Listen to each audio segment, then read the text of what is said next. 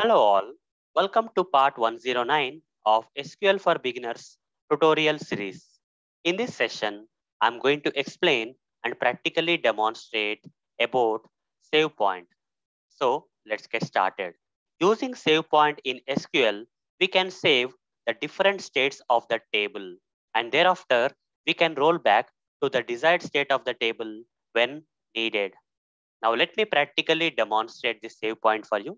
For that, I'll open this workbench client and uh, here first I will select a database and then I'll create a table under the database. Okay. First, I'll select the database, say use database name and you see the database got selected. Now under this database, how many tables are there? I want to find out. For that, I will say show tables.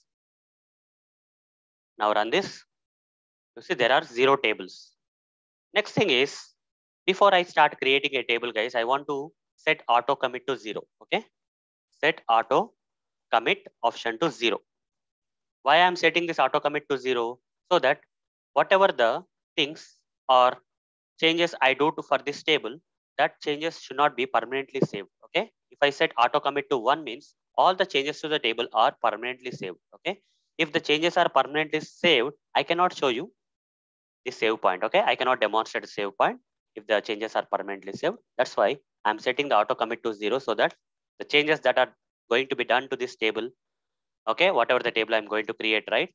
Those changes are temporary changes, not permanent changes. Okay, after setting auto commit to zero. Now at this state, what I will do is I'll create a table, guys. Create table emp1 table name having id, one of the column id as int and uh, name as varchar of 15. Like this, I'll create a table, run this. The table got created, guys. Okay, refresh here. You see, you got a table here, right? You can also say show table so that uh, you'll get table under the tables. Okay, fine. All good. Now what I want to do here is I want to run one statement, SQL statement. So before I start uh, using the save point statement in SQL, I have to run this statement in SQL that is start transaction. Okay.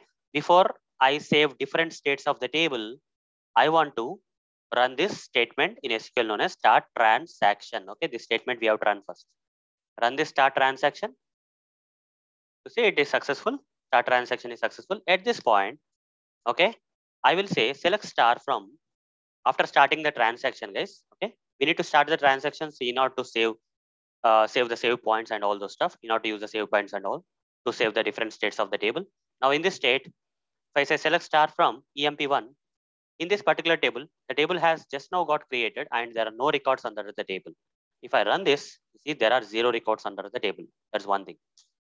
There are zero records under the table, guys. Now, when there are zero records under the table, I want to save. Okay, I want to save the state of the table when no records are there using the save point. How to save that? For that, guys, I have to simply say save point and give some name, guys. So any name you can give. I'll give the name as zero. You can give any name here. Okay, in place of zero, you can give anything Z or A or B also you can give. Okay, I'm saving this state as with the name zero. Okay, because there are no records in that table, right? That's why I'm saving with zero. Okay, logically. Fine. Now I'll insert some data into the table, guys. Okay, insert into.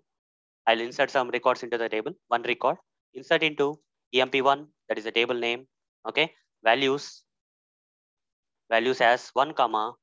I'll give my name, guys. Okay, Arun Motoori. I'll say. Okay, this first record I'm adding. Run this. You see the record got added. If I now say select star from emp1, there will be one record here. I want to save this state also. Okay, this different state of the table also I want to save the save point. Since one record is there, I logically save it as one with name one. Okay, save point one. That's it. Okay, this is the name of the save point. So I am saving the state of this particular table when one record is there in the table with the name one. Okay, now I want to insert one more record into the table. Okay, the same thing I'll copy paste just to save time. And here I'll give two comma Okay, I'll give something like uh, Varun Dawat. Like this, I'll give one more name. Okay, one more record. Now insert this record and say select star from EMP1. Now you will have two records under the table. And I want to save this uh, state of this table when there are two records. So save point I'll say two simply and run this, okay? So this current state of the table has been saved with the name two. Now guys, now, okay, there are two records in the table. Now what I want to do is, if I want to go to the previous state of the table, okay?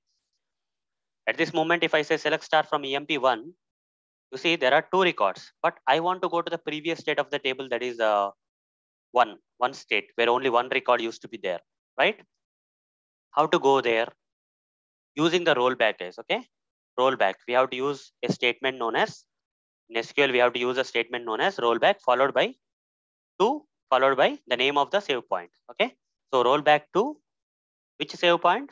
I'm at this uh, two state uh, two position, but now I want to roll back to one guys. Okay, I want to roll back to one. So what I will do here is I'll say one, roll back to one. Okay, roll back to one and run this statement. Now if I say select star from EMP1, how many records will be there? Only one record should be there because we have rolled back to the previous state of the table when there were only one record available. Now similarly, I can roll back to a state of the table when there were no records in the table. That is zeroth state, okay? So name of the save point I gave it as zero, right? Roll back to zero. If I run this, after running this, if I say select star from EMP1, you see there are no records in the table. So going back is okay, but coming back, coming forward is not possible, guys, okay? I cannot say roll back to, okay? Now, if I say roll back to 2, okay? Roll back to 2. It is not possible, guys, okay? Going back is okay rolling back is okay but uh, coming forward is not possible okay?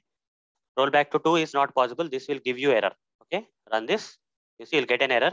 Save point 2 doesn't exist. Once you roll back to the previous states you cannot come back okay? You cannot come forward again.